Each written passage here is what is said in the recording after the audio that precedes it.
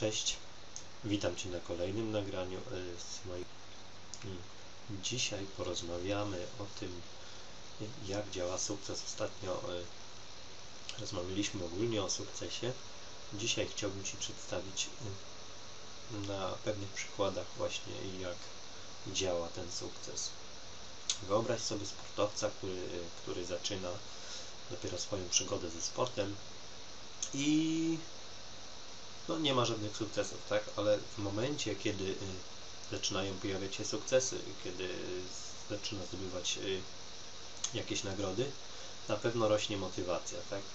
Rośnie motywacja i rośnie mm, pewność siebie. Y, zwróć uwagę, jeżeli polska reprezentacja w piłce nożnej wygrała czy z Niemcami, czy, czy siatkarze wygrali tak mistrzostwa, czy nie tak dawno była mm, Mały Szamania.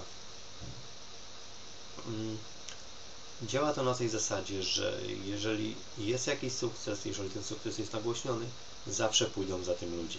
Zawsze. Zawsze znajdzie się ktoś, kto będzie chciał robić to samo, kto będzie chciał odnieść taki sukces.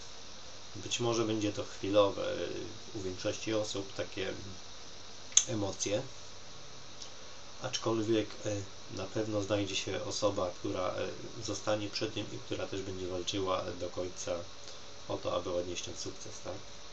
Czyli tak działa e, ten sukces. Jeżeli Ty będziesz miał sukcesy, jeżeli ludzie będą widzieli, że Ty będziesz miał sukcesy, będziesz miał nowe osoby w biznesie, będziesz sponsorował nowe osoby, będziesz wprowadzał, to na pewno znajdą się osoby, które będą chciały, chciały pójść w Twoim kierunku, tak? Które będą chciały grać z Tobą do jednej bramki. Czyli generalnie no, tak działa sukces, tak? Czyli on podsyca pewne zachowania mm, i daje takiego kopa i dla Ciebie i, i również dla osób, które, które Cię śledzą, które Cię oglądają. W tym nagraniu to już wszystko. Dzięki.